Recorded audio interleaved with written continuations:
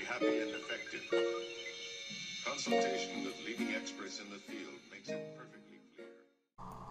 Alright, so getting started, we'll go into our preferences, search for box. We see that we're using version 705 of Box Cutter.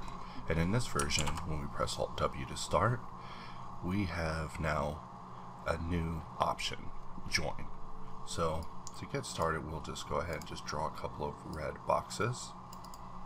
Let go without adding any depth in order to do laser cut. Got a lot of emails and questions about laser cut. Sometimes these things will get missing in a release due to um, changes of so many people working at once, but we got it back. So thank you everyone who um, notified us of this. So without further ado, let me show you green box. So we're just going to draw a box. I'm going to press J to make a join box. Now this thing is connected via a boolean. If we zoom in on it, it has a very micro surface, meaning that if we C sharp, um, in this case we don't want to apply to booleans, but it's going to anyways. So we might as well just roll it on in there manually. So we'll just put a bevel modifier, set this to angle, and that's it really. So just kind of uh, doing it the hard way, but this is the part I really wanted to highlight. If you're using the bevel and you're trying to keep it flush with the surface, that's something that we will need to put a little bit more thought into to sort out. However, in my general workflows of using a green box, I would put a red box there instead and then use that to um, kind of flush the surface, getting everything to be even. So if we um, look at this in wireframe using control tilde, going here and turning on wire, we can uh, see what we have here. So if I go here and I start just dropping some shapes in here, some bevel shapes and it looks like we can't bevel after array so that's still a bug we'll have to look into. So ideally in this situation I would have wanted to bring it down bevel it then array it and then it would have worked fine. So we'll hold shift to keep this here. And it looks like our wires got turned off. We're gonna have to uh, rethink our solution for displaying the wires because users are reporting issues with it. At the time of its creation I was also reporting issues with it. But I can only ride people so hard so late at night. So it is something we will be doubling back for. So right here, I'm going to use Boolean scroll to uh, scroll through these, and we're just going to locate the last cutter, which is right here.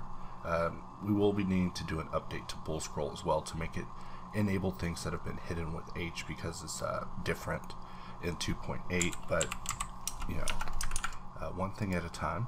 So we'll go ahead and apply this and I'm going to draw a box and press K for knife and we're just going to cut a line down the middle. And so now this shape will support what we're cutting in there. Um, kind of like yesterday's lesson. So we'll go here put a circle here and drop it in there and then we'll hold a control. Let's try that again we'll make a circle and then we'll control click which is not working still. So that's something that we'll also be checking into. However today is also the um, release of Super Smash Brothers. So I did promise that um, you know we would chill out around this time take a short break uh, before moving on to the next phases which basically means working on other stuff while we're playing this game so we have our shape in here. I'm going to have to turn wire back on because our solution for it just isn't adequate at this moment. But we can go here, locate this shape again. The shape's kind of important. It's like it needs a name. So we'll draw a box. Make sure there's no modifiers because a knife will nuke your weights. And I'm just off of it today. It's because of all these buttons up top that we still have to click.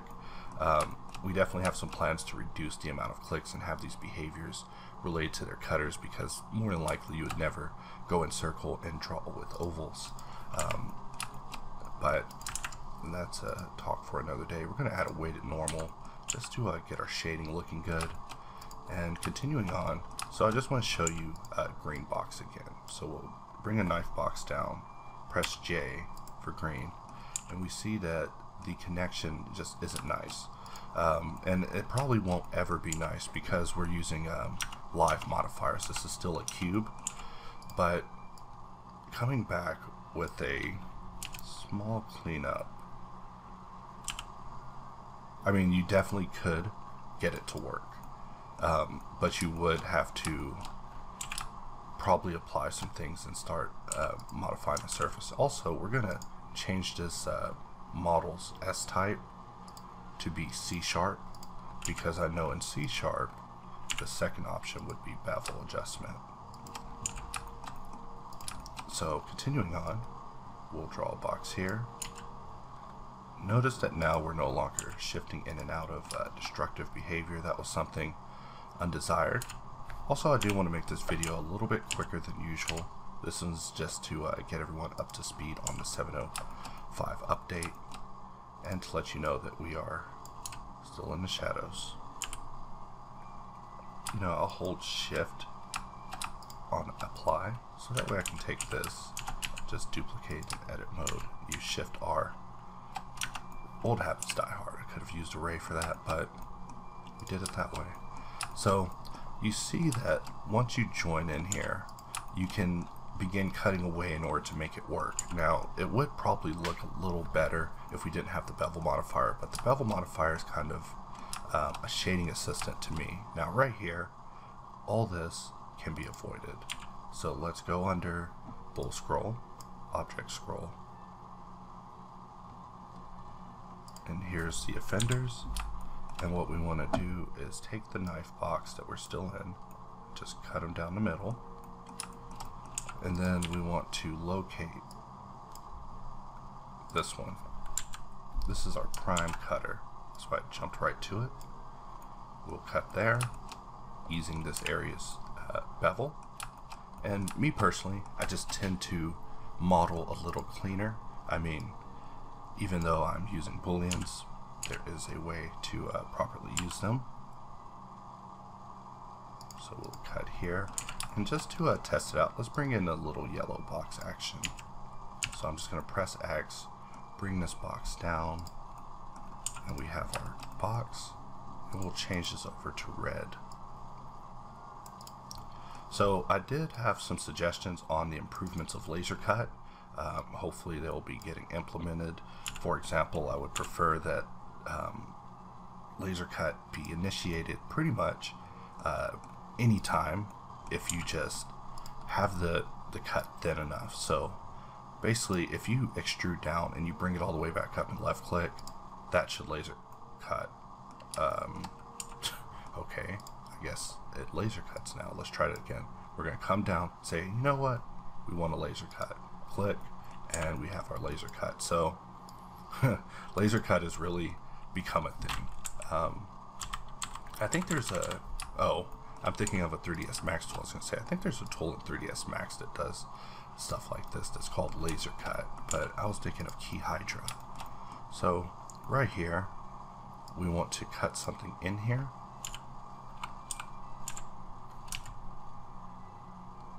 And maybe bring it back a little like that.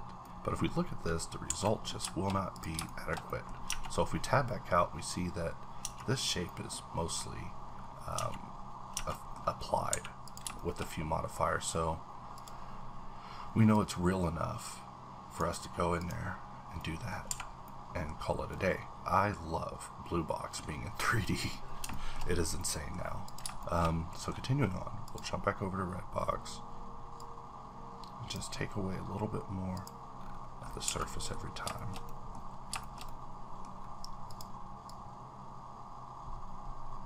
Just cutting things away.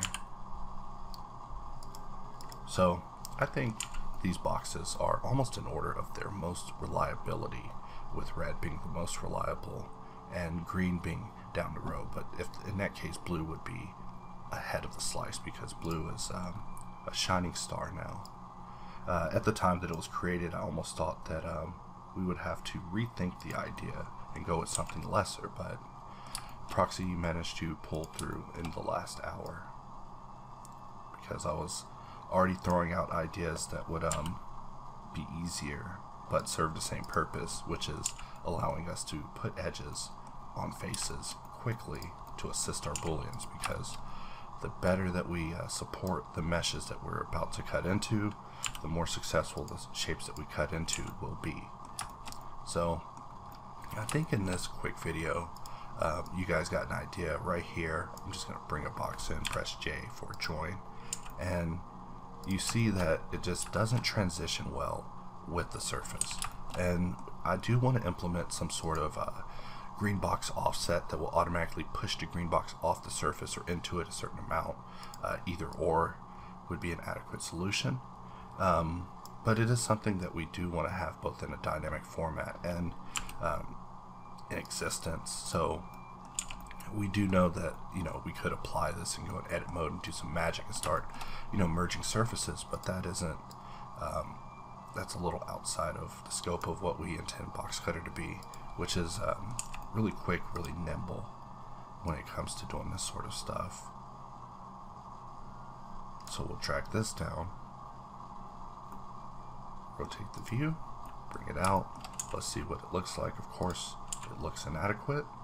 So we will go under object scroll, scroll backwards. One, two, three, four. Find it.